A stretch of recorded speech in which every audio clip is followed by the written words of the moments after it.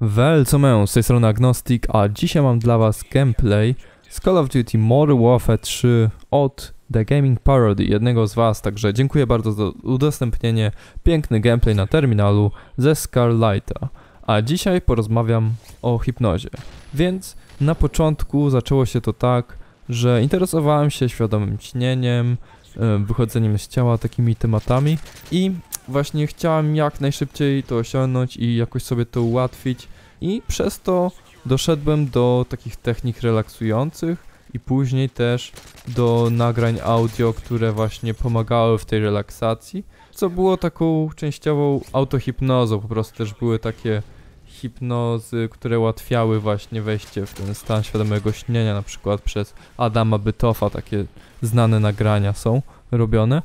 Słuchając takich nagrań widziałem w nich duży potencjał i miałem takie marzenie, żeby kiedyś poznać takiego prawdziwego, profesjonalnego hipnotyzera i coś wspólnie jakoś z nim współpracować, może nagrać właśnie takie nagranie wspomagające lepsze wychodzenie z ciała czy coś takiego.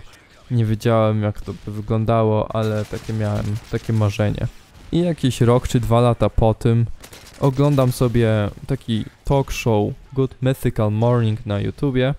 Jest to taki ciekawy nawet talk show i mówili akurat o stronie meetup.com. Jest to taka strona, na której można tworzyć grupy na jakiś temat, żeby się spotkać właśnie i na wspólne zainteresowania jakoś coś porobić z taką grupą, no nie? I w Ameryce, z racji, że to jest strona właśnie stworzona w Ameryce i tam przeważnie jest najwięcej tych grup, jest dużo też takich śmiesznych, dziwnych grup o różnych właśnie dziwnych zainteresowaniach ludzi i oni sobie robili po prostu jaja na tym talk showie z tego, ale z racji, że mnie to jakoś zainteresowało, ta strona, to postanowiłem zobaczyć, czy może u mnie w pobliżu też są jakieś meetupy, czy mogę się do takiej jakiejś grupy zapisać. No i właśnie zarejestrowałem się na tej stronie, sprawdziłem i okazało się, że niedaleko mnie w Heidelbergu jest grupa hipnotyzerska. Zaciekawiło mnie to od razu, bo nadal się tym interesowałem i mm, sprawdziłem tego hipnotyzera. Okazało się, że on był bardzo dosyć mm, taki popularny i też miał duży mm, sukces, no nie? W tej hipnozie. Miał tam swój kanał na YouTubie. Także postanowiłem się zapisać do tej grupy od razu i pójść na kolejny meetup, który odbył się jakieś dwa dni po tym, po moim zapisaniu. Także bardzo szybko, ponieważ tam się odbywały meetupy raz na dwa tygodnie, czy coś takiego. I właśnie zapisałem się na ten meetup. Przeważnie tam byli starsi ludzie, już widziałem to po uczestnikach w grupie. Także postanowiłem się ubrać jakoś w miarę odpowiednio, założyłem koszulę, kaszkiet, wiadomo. Również byli jacyś studenci, no ale przeważnie to właśnie między 40 a 50 lat mieli ludzie. Po prostu używali już tej hipnozy jako um, jakiejś terapii w swojej praktyce, tam w swoim zawodzie, no nie? Albo coś w tym podobie. Albo również byli też jacyś um, psychologowie czy coś takiego, znaczy bardziej studenci psychologii, albo po prostu jacyś zainteresowani, tacy jak ja, no nie? Także pojechałem do Heidelbergu pociągiem, wysiadłem tam w górach samych tego Heidelbergu, musiałem się wspinać po wysokich górach, po wysokich ścieżkach, prowadzących do jego posesji. W końcu dotarłem na jego majestatyczną posesję wielką. Miał taką bardzo piękną bramę z kamienia, bardzo taką na bogato. Wchodzę tam do środka. Miał z 20 schodków, takich dosyć płaskich, prowadzących do wejścia jego domu, oświetlone z dwóch stron takimi światełkami wbudowanymi właśnie w te schodki. I tak idę sobie po tych schodkach, rozglądam się. Widziałem nawet jakiegoś kota, ale mówił, że to nie jego. Także otwiera mi w końcu drzwi, przywita mnie, mówię, że jestem Daniel. On mówi hello Daniel. Oczywiście Amerykanie nigdy nie potrafią wymówić mojego imienia poprawnie Daniel. To nie jest Daniel, ale już mu to wypatrzyłem w, w porządku. I od razu poczułem się, jakbym był w domu. To było coś dziwnego, chociaż nie zauważyłem, że to było dziwne. Od razu nie czułem się wcale zestresowany, jakbym po prostu przyszedł do bliskiego mi kolegi.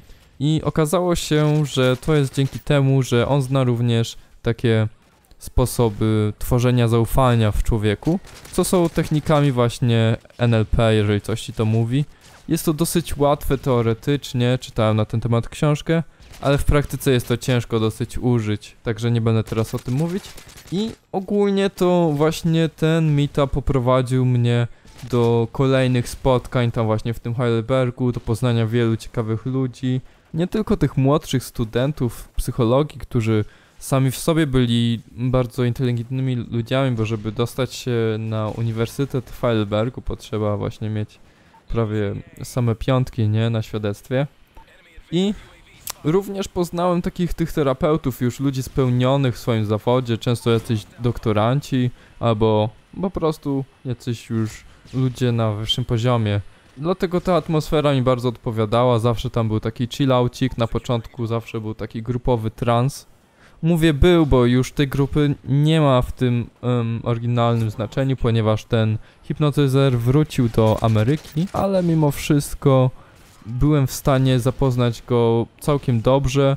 Byłem na ponad 20 takich meetupach z nim i udało mi się nawet z nim współpracować w pewien sposób parę razy. Było to bardzo ciekawe, właśnie poznałem też paru ludzi, co specjalnie do niego przyjeżdżali na takie lekcje udzielane jeden na jednego, nie? Gdzie przyjeżdżali ludzie właśnie z Ameryki na przykład, albo z Nowej Zelandii, żeby właśnie taką lekcję poprowadził z nim, nie? Dużo ludzi podchodzi sceptycznie do hipnozy, ale jest to dosyć proste zjawisko, które ym, odbywa się tak naprawdę w każdym z nas, czasami nawet tak nie ten, nie myśląc o tym jako o hipnozie, po prostu jak wpadałem w jakiś trans, coś takiego. Ale to w sumie jest już temat na inny filmik. Ja byłem w stanie właśnie przez ten czas, okres czasu doświadczyć różne zjawiska w hipnozie, jak zapomnienie numera ym, jakiegoś po prostu numera 3 na przykład, albo byłem też w stanie być w takim pełnym odprężeniu, w takiej najgłębszej mm, hipnozie możliwej, gdzie nie czuję się wcale bólu i nie reaguje się na żadne rzeczy z zewnątrz i się odczuwa taką głęboką zadowolenie i takie pozytywne uczucia w sobie same, że nie chce się w ogóle wychodzić z tego stanu, ale oczywiście zawsze to się wszystko gdzieś kończy, nie? Było to coś bardzo pięknego, ale to było na tyle na ten filmik, także dziękuję za oglądanie i do zobaczenia wkrótce. Cześć!